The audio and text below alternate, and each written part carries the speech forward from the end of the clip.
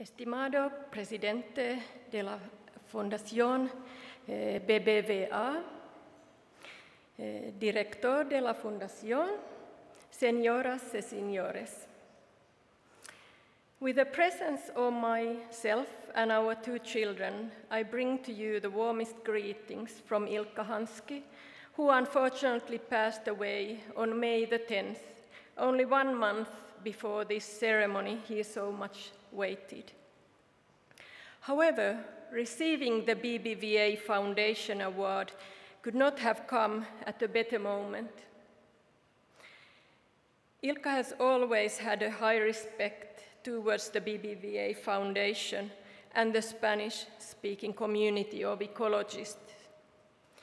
Thus, receiving the BBVA Foundation Award when being close to losing his battle made him feel that his work is respected broadly in the world and that the fruits of his research will carry far into the future to inspire new generations of scientists in the field of population and conservation biology.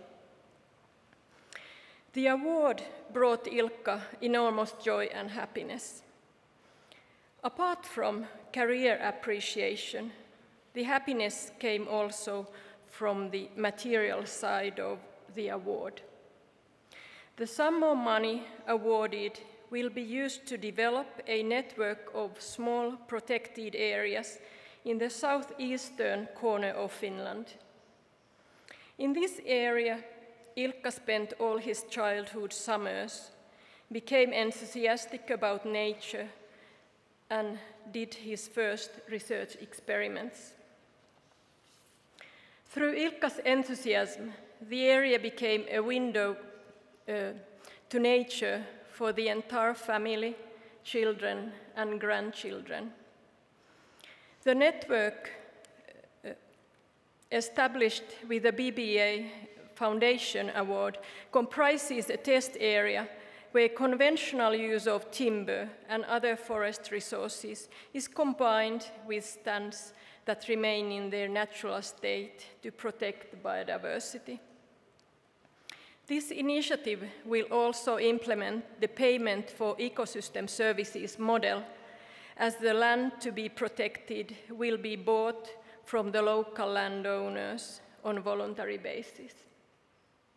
We hope that this will motivate many others to carry out comparable actions to conserve biodiversity-rich forests and their ecosystem services for future generations.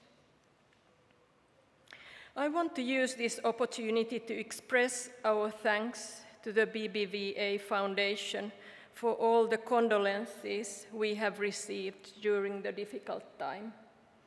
In particular, to Director Rafael Pardo for his presence at the memorial in Helsinki, and to President Francisco Gonzalez for his personal letter to the family. Finally, the sympathy received from the global science community at large has been an enormous support for us. Muchas gracias.